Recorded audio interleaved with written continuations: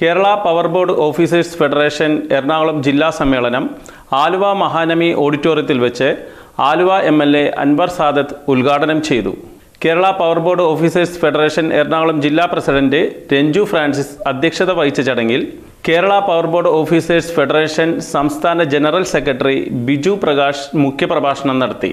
സർവീസിൽ നിന്ന് വിരമിച്ചവരെയും ഇരുപത്തഞ്ച് വർഷമായി സർവീസിൽ തുടരുന്നവരെയും മെമന്റോ നൽകി ആദരിച്ചു. ഇലക്ട്രിസിറ്റി അതൊരിക്കലും കേരളത്തിലെ പൊതുസമൂഹം അംഗീകരിക്കാൻ പറ്റില്ല.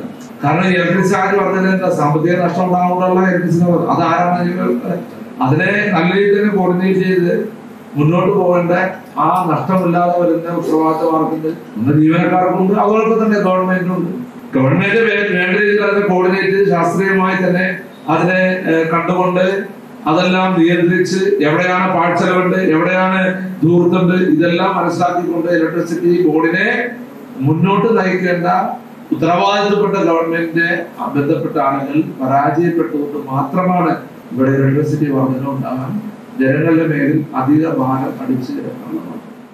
പെട്രോൾ ഡീസൽ ഗ്യാസ് പാൽ ഭക്ഷ്യവസ്തുക്കൾ കെട്ടിട നിർമ്മാണ സാമഗ്രികൾ എന്നിങ്ങനെ എല്ലാത്തിനും വില കൂടി.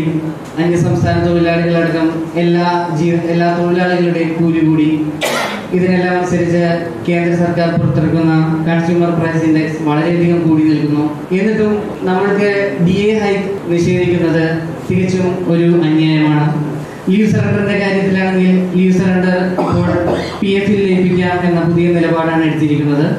ഈ ലയിപ്പിക്കുന്ന തുക ആറോ ഏഴോ വർഷം കഴിയുമ്പോൾ അന്നത്തെ സർക്കാരുകളുടെ നിലയനുസരിച്ച് തുച്ഛമായ ഡി എ ഇൻട്രസ്റ്റ് അടക്കം. പലിശ അടക്കം തരികയോ അതോ പകുതിയായി തരികയോ ചെയ്യാം എന്ന ഒരു നിലപാടാണ് ഇപ്പോൾ എടുത്തിരിക്കുന്നത്. എന്നാൽ ഈ ഒരു തുകയുടെ ഇരുപത് ശതമാനം മുപ്പത് ശതമാനം ഒക്കെ വരുന്ന ഇൻകം ടാക്സ് അത് നമ്മൾ ഇപ്പോൾ തന്നെ അടയ്ക്കണം എന്ന ഒരു നിലപാടാണ് സർക്കാർ എടുത്തിരിക്കുന്നത്.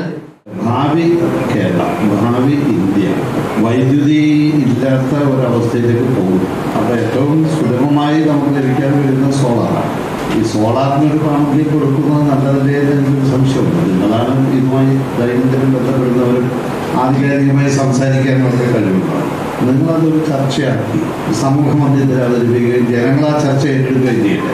ആ പദ്ധതി വലിയുള്ള പദ്ധതിയാണ്. ജലവൈദ്യുത പദ്ധതികളുമായി മുന്നോട്ട് പോകുന്നത് അത്ര ആശ്വാസ്യമാണോ എന്ന് എനിക്ക് സംശയമുണ്ട് ജലവൈദ്യുത പദ്ധതി എനിക്ക് ചെറിയ ചെറിയ മെഗാവാട്ട് വൈദ്യുതി ഉൽപ്പാദിപ്പിക്കുന്ന പദ്ധതികൾ ഏത് സെക്ടറിൽ വേണം എന്നുള്ളത് പിന്നെ തർക്കം. പ്രൈവറ്റ് സെക്ടർ വേണോ പബ്ലിക് സെക്ടർ വേണോ? ഇപ്പോൾ പ്രൈവറ്റ് സെക്ടറിൽ ധാരാളം പ്രവർത്തിക്കുന്നുണ്ട്. ഒരുപാട് കമ്പനികളൊക്കെ ഇത് ചെയ്യുന്നുണ്ട്.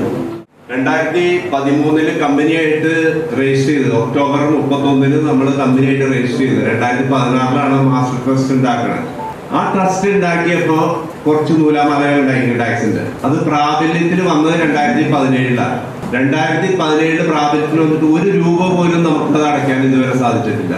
അതാണ് ഭയങ്കര ഭയങ്കര ഭീകരമായിട്ടുള്ള സംഭവമാണ്. കാരണം അന്ന് എന്താ കടപ്പത്രമൊക്കെ ഇറക്കി എണ്ണായിരത്തി ജില്ലാ കോടി രൂപയോളം പിരിച്ചിട്ട് ഒരു രൂപ പോലും അടച്ചിട്ടില്ല.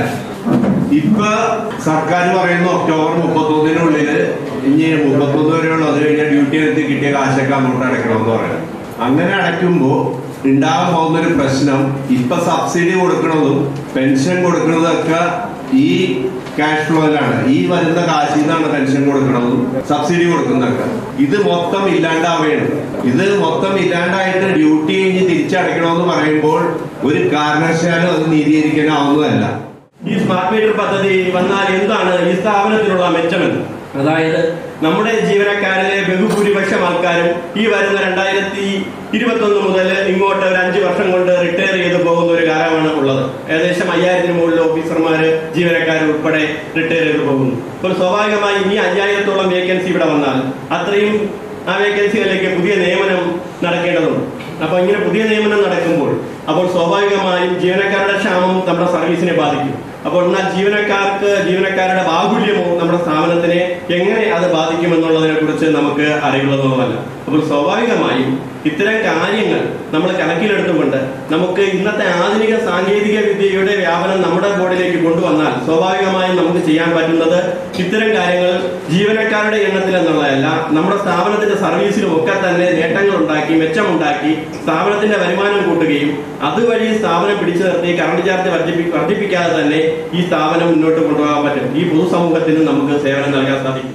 നിങ്ങൾ നോക്കൂ ഒരു കോവിഡ് വന്നു ഒരു പ്രതിസന്ധി വന്നു. ഐ ടി കമ്പനികൾ ആദ്യം ചെയ്യണമെന്നാ എംപ്ലോയിനെ പിരിച്ചുവിടുകയാണ് അത് ഏറ്റവും ടോപ്പിയുള്ളവരെ പിരിച്ചു പിരിച്ച് പിരിച്ചു വിട്ടുകൊണ്ടിരിക്കുകയാണ്. ഇവിടെ ആരെയും പിരിച്ചുവിടുന്നില്ലല്ലോ. ഒഴിവായി പോകുന്ന മേഖലയിൽ കൊണ്ടുവരണം ഒരു എസ് എസിന്റെ ശമ്പളം രണ്ട് ലക്ഷം രൂപ ഒരു സബ് ലക്ഷം രൂപ. ഓവർസിയർ ലൈൻമാൻ ഏഴ് എസ് എ കോൺട്രാക്ട് ആണെന്നിരിക്കുക ക്യാഷിയർ അപ്പൊ ഏഴ് ലക്ഷം മുതൽ പത്ത് ലക്ഷം രൂപ വരെ സെക്ഷൻ ഓഫീസിൽ ലാഭമുണ്ട്. പത്ത് ലക്ഷം ഏഴ് ലക്ഷം കൂട്ടി കൂട്ടണം അഞ്ച് ലക്ഷം കൂട്ടിയാൽ മതി. അഞ്ച് ലക്ഷം കൂട്ടി എഴുന്നൂറ്റി എഴുപത്തി സെക്ഷൻ ഓഫീസിൽ അഞ്ഞൂറ്റമ്പത് കോടി രൂപ ഒരു വർഷം ലാഭിക്കാൻ പറ്റും. ആ അഞ്ഞൂറ്റമ്പത് കോടി രൂപയും ആയിരം കോടി രൂപയുടെ പെൻഷൻ ഫണ്ട് ഉണ്ടെങ്കിൽ നമുക്ക് പെൻഷൻ സുഖമായിട്ട് കൊടുത്തു നടന്നു പോകും. കേരള പവർ ബോർഡ് ഓഫീസേഴ്സ് ഫെഡറേഷന്റെ എറണാകുളം ജില്ലാ സമ്മേളനമാണ് ആലുവ മഹാനാമി ഓഡിറ്റോറിയത്തിൽ വെച്ച് നടന്നത്. Aluva M L A Shri Anwar Sad ഈ യോഗം ഉദ്ഘാടനം ചെയ്ത് സംസാരിച്ചു. Aluva municipal chairman Shri M O John അവർകൾ ഈ യോഗത്തിൽ അവാർഡ് ദാനം വിദ്യാഭ്യാസ അവാർഡ് ദാനം വിതരണം നടത്തി. ഇരുപത്തഞ്ച് വർഷം സർവീസ് പൂർത്തിയാക്കിയവരെയും റിട്ടയർഡായവരെയും M L A Shri Anwar Sad പുരസ്കാരങ്ങൾ നൽകി ആദരിച്ചു. അതോടൊപ്പം തന്നെ Ernakulam D C C president Shri Muhammad Shiyas ഈ യോഗത്തിന് ആശംസ നേർന്നു. സംസ്ഥാന ജനറൽ സെക്രട്ടറി ശ്രീ ബിജു പ്രകാശ് ചടങ്ങിൽ മുഖ്യ പ്രഭാഷണം നടത്തി ചടങ്ങിൽ അധ്യക്ഷം വഹിച്ചത് എറണാകുളം ജില്ലാ പ്രസിഡന്റ് ശ്രീ രഞ്ജു ഫ്രാൻസിസ് ആണ് സെക്രട്ടറി റിപ്പോർട്ട് അവതരിപ്പിച്ചു. ഈ ചടങ്ങിന് ആശംസ നേർന്നുകൊണ്ട് Aluva municipal councillor Shri Jason Peter Ernakulam ജില്ലാ youth Congress president Shri Tito Antony അതുപോലെ തന്നെ K E C working president Shri Joshi Madan Kerala power workers Congress സംസ്ഥാന വൈസ് പ്രസിഡന്റ് ശ്രീ അലി അറക്കപ്പടി എന്നിവർ സംസാരിച്ചു. ഈ ചടങ്ങിൽ എറണാകുളം ജില്ലയിലെ എല്ലാ പവർ ബോർഡ് അംഗങ്ങളും സംബന്ധിച്ച് ഈ യോഗം വളരെ വിജയകരമാക്കിയതിന് ശ്രീ ബെൻസൺ കൃതജ്ഞത അർപ്പിച്ചുകൊണ്ട് സംസാരിച്ചു. വീണ്ടും മറ്റൊരു വാർത്തയുമായി കാണുന്നതുവരെ ലൈഫ് കൊച്ചി ന്യൂസിനു വേണ്ടി ഷിഹാബ്.